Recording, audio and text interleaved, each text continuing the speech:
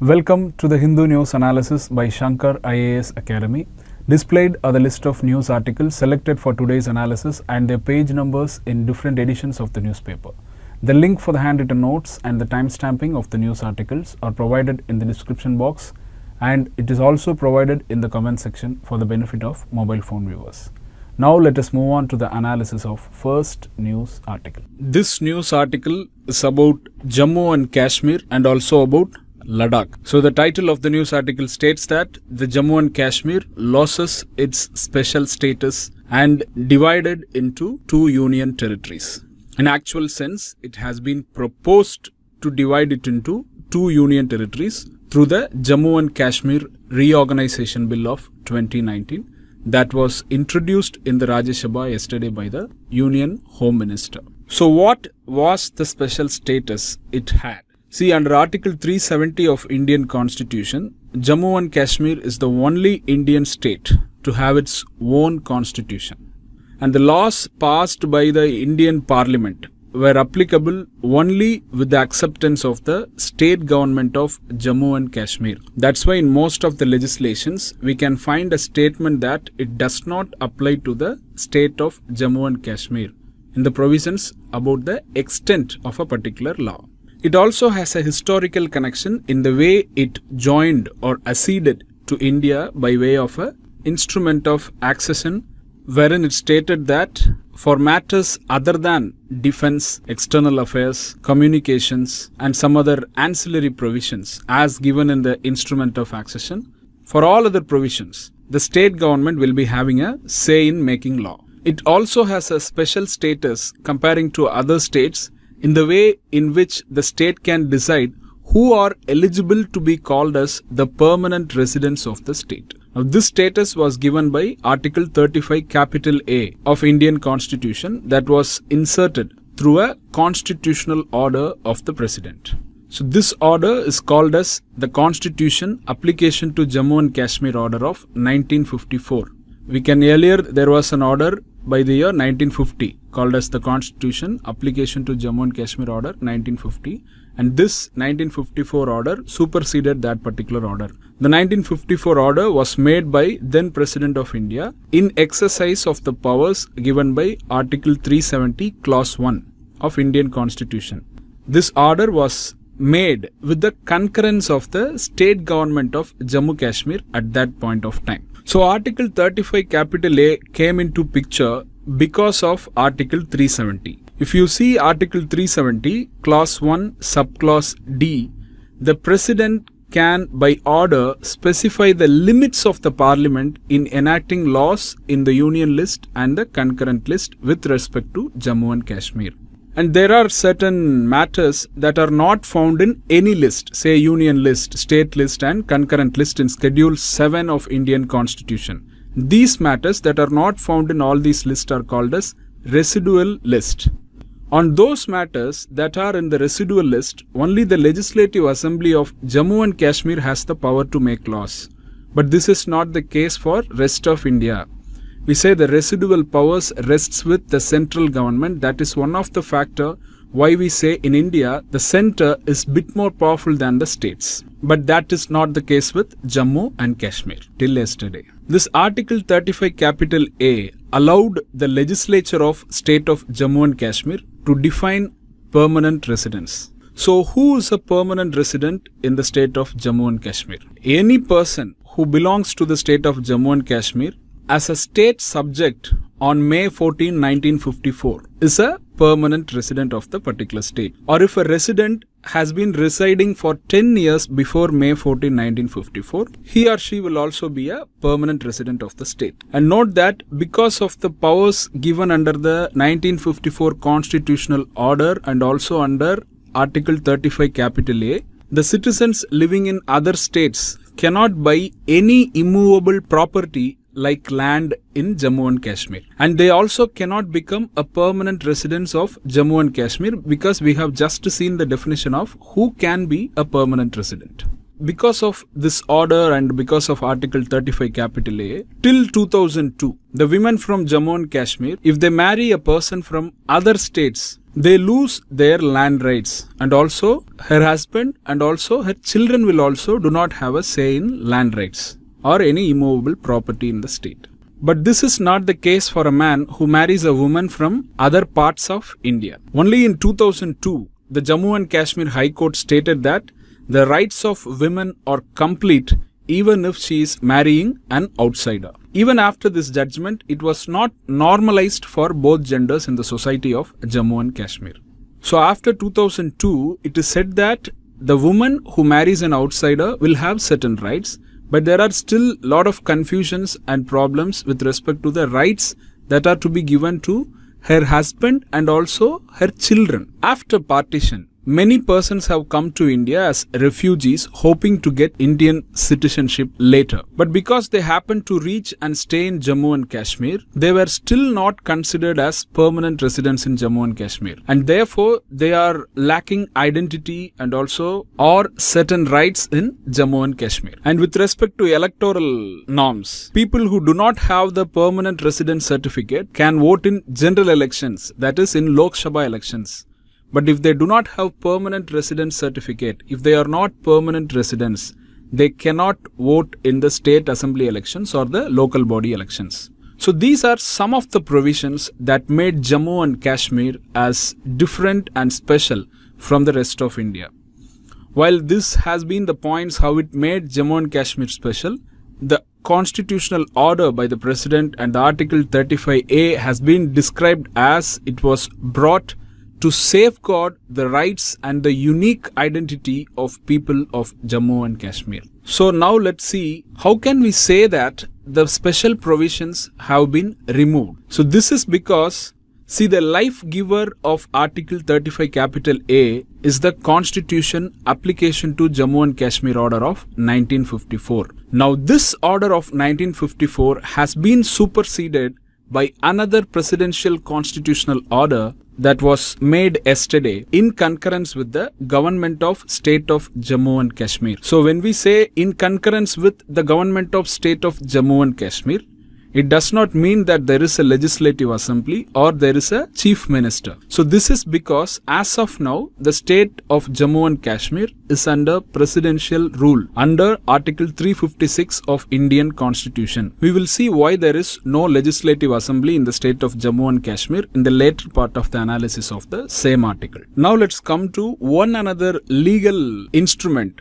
called as Jammu and Kashmir Reorganization Bill of 2019 that has been introduced yesterday in the Rajya Sabha. At present, we have 29 states and 7 union territories. Of the 7 union territories, 2 union territories have legislative assembly and 5 union territories do not have a legislative assembly. Well, one with uh, legislative assembly are the union territory of Puducherry and the national capital territory of Delhi. Now the government has proposed to change these numbers from 29 states to 28 states and from 7 union territories to 9 union territories. Now, this is because the state of Jammu and Kashmir has been proposed to lose the status of a state and it has to be recognized and reorganized into two union territories. One union territory is to be called as Union Territory of Jammu and Kashmir and another union territory is to be called as Union Territory of Ladakh. In the existing state of Jammu and Kashmir, the districts of Kargil and Leh are going to constitute the Union Territory of Ladakh. The remaining part of the state of Jammu and Kashmir will come under the proposed Union Territory of Jammu and Kashmir. And if the reorganization bill becomes an enforceable legislation, the Legislative Assembly of Union Territory of Jammu and Kashmir cannot make laws on the subjects police and public order and it cannot enact in the matters in the concurrent list also. So the procedure for passing the Jammu and Kashmir Reorganization Bill of 2019 has been expected to follow the procedure as given in Article 3 and 4 of Indian Constitution. If you have a look at the statement of objects and reasons mentioned in the reorganization bill, it is said that the Ladakh division of state of Jammu and Kashmir has large area but sparsely populated, not densely populated. And it also has a very difficult terrain. And to realize development in the region and to realize their personal and societal aspirations, The people of Ladakh has been demanding the Indian government to give it the status of a union territory. And it is in pursuance of this request and demand the central government is stating that it is now creating a union territory of Ladakh without a legislature. And now the reason mentioned why they are going to create a union territory of Jammu and Kashmir with legislative assembly is that keeping in view the prevailing internal security situation that has been fueled by cross-border terrorism. So this is the main reason as mentioned in the bill by the Union Home Minister. So the Rajya Sabha has passed this bill and it has to be now passed in Lok Sabha. Now let's come to the issue of Article 370. Has it been already scrapped or has it been already removed or has it been totally revoked? Now let's see that according to Press Information Bureau, under Article 370 Class 3, the President has the power to amend or stop the implementation of Article 370 on the recommendation of Parliament through a public notification. But if you see Article 370 in the Constitution, it states that the President may, by public notification, declare Article 370 as inoperative or cease to be operative but before the President issues such a notification, the recommendation of the Constituent Assembly of the state shall be necessary. This name of the Constituent Assembly has been changed to Legislative Assembly of the state by the constitutional order made by the President yesterday. So this means before the President issues such a notification, the recommendation of the Legislative Assembly of the state shall be necessary. So we have to wait and see when the President issues such a public notification to make Article 370 inoperative. So as of now, with respect to repealing Article 370, the Union Home Minister has introduced only a resolution in Rajya Sabha so as to request or recommend the President to issue a public notification to repeal Article 370 of Indian Constitution. Now let's come to the recent scenario of Jammu and Kashmir. See, last year in the month of June, the BJP has withdrawn its support to the coalition government in Jammu and Kashmir. So once the party withdrew its support, there was no clear majority and the governor of the state has proclaimed governor's rule on 20th June 2018. This is in exercise of his powers under the section 92 of Constitution of Jammu and Kashmir. What happened? By November 2018, the Legislative Assembly of Jammu and Kashmir was dissolved by the governor. So from November 2018, there is no Legislative Assembly. And according to section 92 of Constitution of Jammu and Kashmir, the governor's rule can be there for only a period of 6 months and this period came to an end by 19th December 2018. So what happened after that? The provision for governor rule is only 6 months. So after this period, the governor recommended president's rule under Article 356 of Indian Constitution and therefore the president has promulgated the proclamation for president rule in Jammu and Kashmir. And recently the president rule has been extended. So as of now it is president's rule in Jammu and Kashmir. So we have to wait and watch the way in which the recommendation of the legislative assembly is to be obtained before the public notification of the president will be issued so as to totally repeal article 370. So this is with respect to this news article. In addition to two resolutions and uh, Jammu and Kashmir Reorganization Bill of 2019, the government has also introduced Jammu Kashmir Reservation Second Amendment Bill of 2019. This bill aims to amend the Jammu and Kashmir Reservation Act of 2004. It seeks to extend the 10% quota to economically weaker sections of the society in Jammu and Kashmir in jobs and educational institutions. So both the bills introduced yesterday have been passed in Rajya Sabha.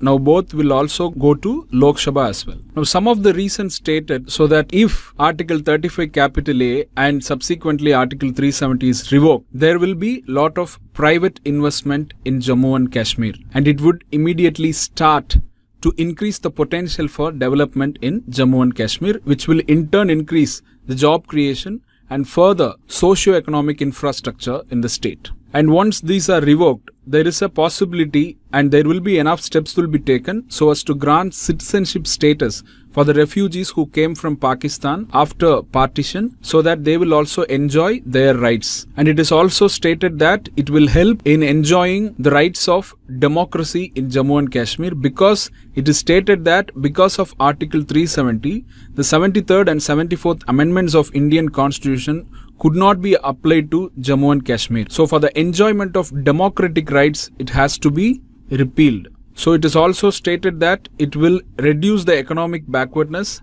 as it will make other people to come into the state and it will provide economic competition that will promote development and also corruption is expected to come down. So once these development policies and development actually start to happen in Jammu and Kashmir. The youths who are currently stimulated by some of the extremist sections or some of the sections that have allegiance to terrorism will start to unite and integrate with the ideals of the country and also they will be united with the rest of the country. So the superseding of the 1954 order, it also helps extends all the central acts to the state of Jammu and Kashmir. And that means no more Article 35 capital A is valid. Therefore, whoever discriminated so far will not be discriminated in comparison with other states, particularly the women and their land rights. And the Home Minister has also stated that if this Union Territory model works well for uh, for Jammu and Kashmir, in future there is a possibility of giving Jammu and Kashmir the status of statehood again. These are with respect to the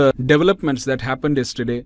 Now let's move on to the analysis of next news article. This news article talks about the response from the side of Pakistan with respect to the developments about Jammu and Kashmir announced in Rajya yesterday. Now the Indian government's uh, approach to make the state of Jammu and Kashmir into two union territories was unacceptable to the Pakistan government. Pakistan is saying that the territory continues to remain as an international dispute. And it says that no unilateral step can be taken by government of india to change the status of uh, dispute with respect to jammu and kashmir it has mentioned that it is a party to the international dispute with respect to Jammu and Kashmir and therefore Pakistan will exercise all possible options to counter the steps that are taken by the Indian government. It has called the steps taken by the Indian government as illegal and the Prime Minister of Pakistan has called for international mediation on Kashmir. Government of Pakistan has also mentioned that it will continue to provide support for the right to self-determination of the people of Jammu and Kashmir.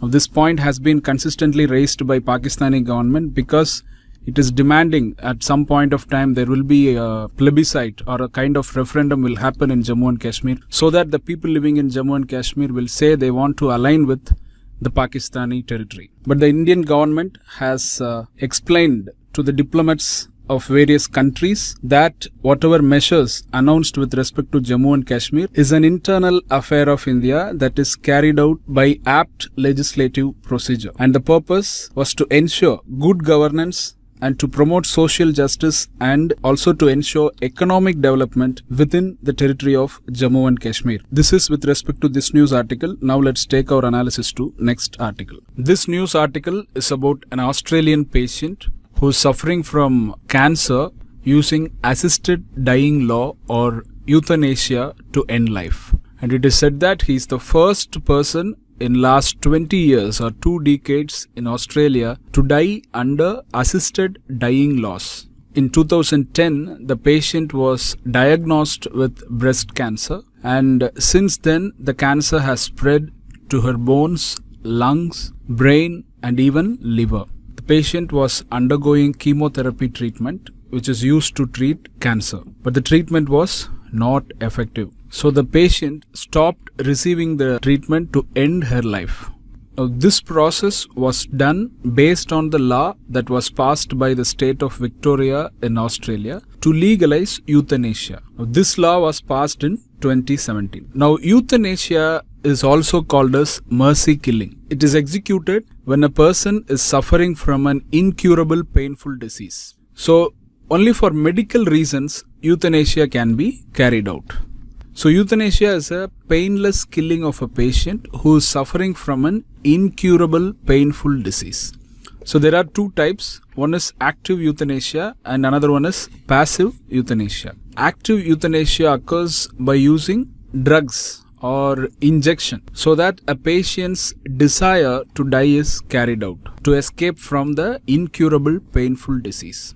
Now this can be done by medical professional or even the patients themselves or any other person but done consciously and intentionally based on the desire of the patient to die. Now, this type of active euthanasia is illegal in most countries, but in some countries such as Canada, Colombia, Netherlands, and Belgium, it is legal. If we consider passive euthanasia, it occurs when patient dies because of the removal of life supporting mechanism or life supporting medications. So, this passive euthanasia within the prescribed rules is legal in countries such as uh, Switzerland, Germany, and few United States uh, subnational entities such as California and Oregon. Now, what is the status of euthanasia in our country? See, the debate for mercy killing or euthanasia in India has started with the patient Miss Aruna Shanbaug. She was in a persistent vegetative state, that means in non responsiveness or in a state of coma, since 1973 till she died in 2015. So before 2011, euthanasia in both forms, active or passive, was illegal in our country. But in 2011, in the case law with respect to Ms. Aruna Shanbaug, the Supreme Court of India upheld right to die with dignity as a fundamental right. The Supreme Court stated that the right to live with dignity under Article 21 is inclusive of right to die with dignity. The same judgment has also asked for uh, removal of section 309 of Indian Penal Code. So this landmark judgment has made euthanasia in India permissible in the country. Okay, that is what Supreme Court stated in 2011. Even today there is no legislation that legalizes passive euthanasia.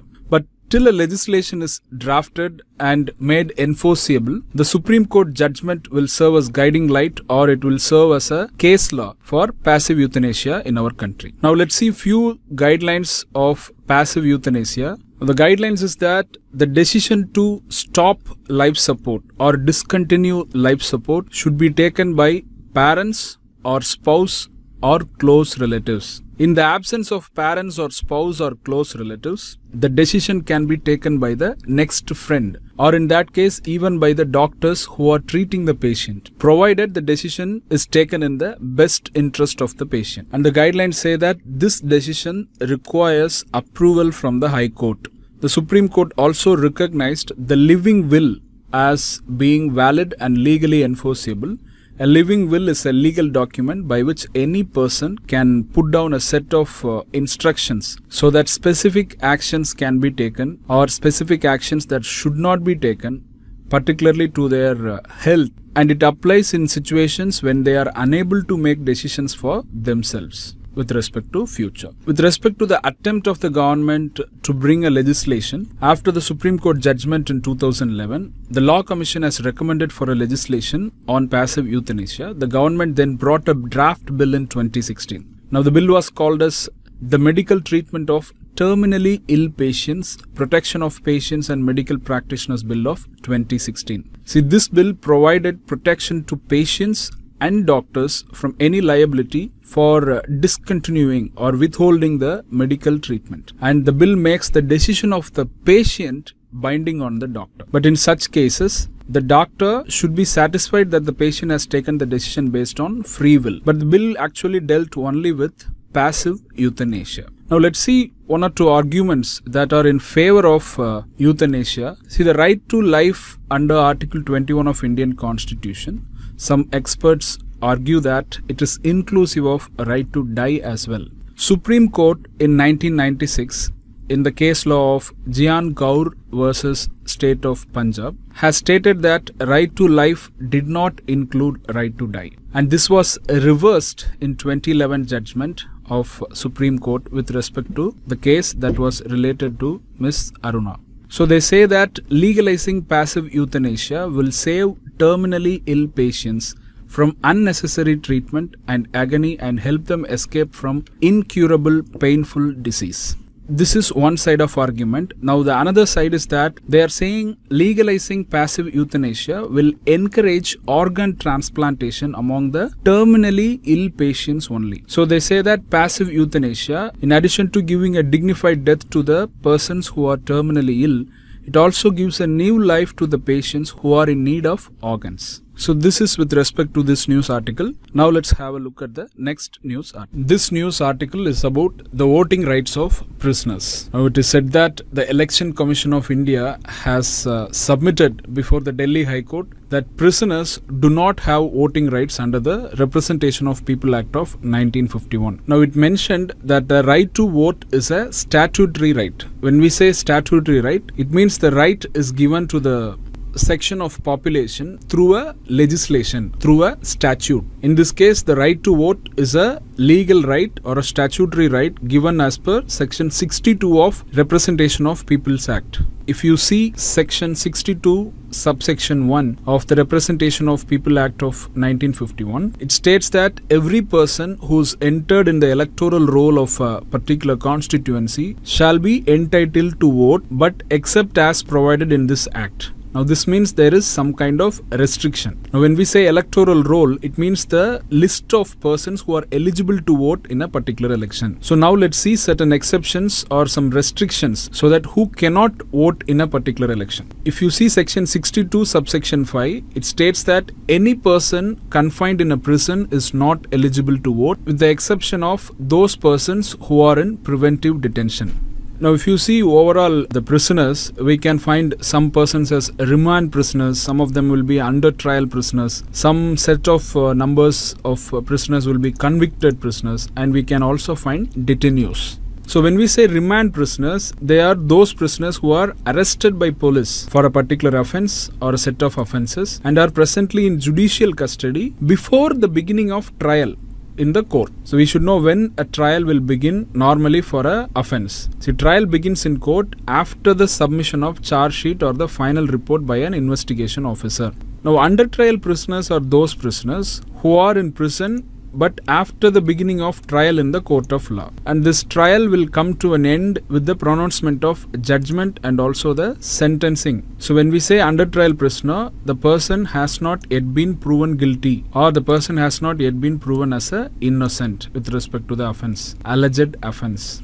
When we say convicted prisoners, now they are persons who are convicted of committing certain offense by the court of law and they will be under the sentence of punishment pronounced by the particular court. Now in these categories, we can find that except the convicted prisoner, all the others are not yet convicted. But we can find section 62 subsection 5 telling that or keeping all these uh, prisoners in the same footing with respect to voting rights. Now let's see detainees. Detainees are those persons who are detained in prison. That is, here we are referring to preventive detention. Now the purpose is to prevent them from committing any crime or any other unlawful activity. They will be kept in preventive detention based on various orders of a competent authority under relevant preventive detention laws. The reply of the election commission was with respect to a petition filed by three law students. The petition the law students has sought the High Court to grant and facilitate voting rights to all persons who are lodged in jails across the country. And they are saying that the ban on the prisoner's right to vote is a violation of the constitution and also particularly the basic principle of equality under Article 14 of Indian Constitution. With this we come to the end of this news article. Now let's see next article. This news article is about government releasing draft e-commerce norms. See, the Department of Consumer Affairs has released draft guidelines on e-commerce. The main objective is to protect the interest of online shoppers or online consumers. Now, the draft guidelines are available so that uh, concerned and relevant stakeholders shall inform the comments for a period of 45 days. After receiving the comments and feedback, the government will finalize the guidelines. This is a process of uh, an extension of public consultation. See, these guidelines will be made applicable to business to consumer e-commerce, including the goods and services from uh, e-commerce platforms such as Amazon, Snapdeal, etc. When we say business to consumer, it means selling goods and services directly to the consumers from the business entity or a business platform. Now let's see some of the important provisions in the guidelines. Once the guidelines are officially published after receiving the comments, then every e-commerce platform or e-commerce company will be required to ensure that personal information of customers should be protected. And such methods of data collection and the data storage should comply with the provisions of uh, information technology and act. And all the e-commerce firms should be registered as a legal entity under relevant Indian legislations and they have to submit a self declaration that they will conform to the guidelines. And one very important thing is that the promoter or the key management personnel should not have been convicted of any criminal offense that are punishable with a period of 5 or more years of imprisonment. With respect to influencing the price rise or prices of particular goods or particular service. The draft has said that e-commerce entities should not either directly or indirectly, they should not influence the price of goods and services. Now, the objective is to ensure level playing field for all the entities. These measures are addressing preventing fraud, preventing unfair trade practices, and ultimately it protects the legitimate rights and interests of the online consumers or in other ways consumers. The guidelines also talk about uh, disclosing the information related to seller to increase transparency in the e-commerce process. It makes it mandatory for uh, e-commerce firms to display the terms of contract with the seller. This will have details related to return of goods, refund, exchange, also about warranty or guarantee and delivery and also mode of payments and even the grievance redressal mechanisms. So these are some of the steps that will help the customers to make some informed decisions and choices so that they will select the seller of their requirement. There is one another responsibility with respect to this e-commerce firms that is if they come to know about any fake product then they will be requesting the seller to prove that the particular product is genuine. If a seller is unable to provide any evidence that the product is genuine, then the e-commerce firm has to take down the listing and has to notify the consumers of the particular fake product and also the seller was unable to prove that his or her product is a genuine product. And in order to improve the integrity of reviews, the draft says that the e-commerce firms cannot falsely represent themselves as consumers to post reviews about the goods and services if in in our present scenario we can see several deadlines available for uh, processing the refund request or affecting the refund request. But this draft guideline fixes a 14 day period to affect the refund request by the consumers so this means within a maximum period of 14 days, the firms are required to refund the relevant payments to the customers for the refund requests made in the e-commerce process. One most important uh, step with respect to grievance redressal is that this draft uh, guidelines say that e-commerce entity or a platform has to publish the name and contact details of the grievance officer on their website itself. They also have to explain the mechanism in which the users can file their complaints. So this is to help the consumers to provide them a clear idea about filing and resolving their grievances or complaints. One another provision is that the seller should display the total as well as the breakup price for the goods and services that will some heads like charges for delivery, charges for postage and taxes and all other relevant heads. So at the end we can say that the draft guidelines addresses some important issues that are currently prevailing in the e-commerce market by improving transparency this they are doing by disclosing the seller details and addressing the problems with respect to fake products and they are also trying to promote the integrity of review of products and also to effect proper consumer complaints redressal. So the purpose is to protect consumers at every stage of e-commerce transaction. And it is being said that the e-commerce sector is uh, currently seeing a huge growth, predominantly because of increase in use of online platforms and uh, increasing penetration of smartphones among the people, and also the rising popularity of social media platforms. And they are saying that. Uh, According to an American investment bank, India is adding one internet user every 3 seconds. These are all potential points or contributing factors why e-commerce sector in India has been witnessing a huge growth in the recent times. and it is estimated that by 2028 the e-commerce sector in India would reach around 230 billion US dollars. That is somewhere around uh, 16 lakh crores. So these are some of the points with respect to this news article. This question is with reference to the right to vote. They have given two statements and are asking which of the above statements are correct. The first statement it tells that the right to vote has been explicitly mentioned in the Indian constitution. Now this statement is incorrect because nowhere in Indian constitution the right to vote has been explicitly mentioned. So even in fundamental rights we cannot find right to vote was directly mentioned in the Indian constitution. So the statement is wrong. The second statement, the right to vote as of now cannot be exercised by the persons confined in prisons with the exception of those who are subjected to preventive detention under any law for the time being in force. Now this statement is correct. This is correct according to section 62 subsection 5 of uh, the Representation of the People Act of 1951. It says that no person shall vote at any election if he is confined in a prison but this provision does not apply to a person subjected to preventive detention. So therefore only the second statement is correct. Therefore the correct answer is option B 2 only.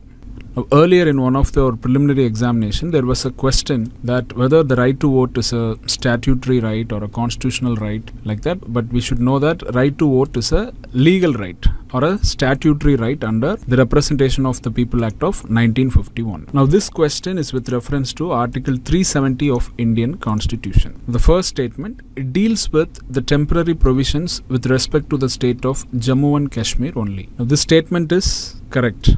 The second statement, the President may, by public notification, declare that this article shall cease to operate or cease to be operative or shall be operative only with such exceptions and modifications. Now this statement is also correct. This is according to clause 3 of article 370 where the president can by public notification declare it as not in operation. But we studied during the analysis that but before the declaration there shall be a recommendation from the state legislative assembly of Jammu and Kashmir.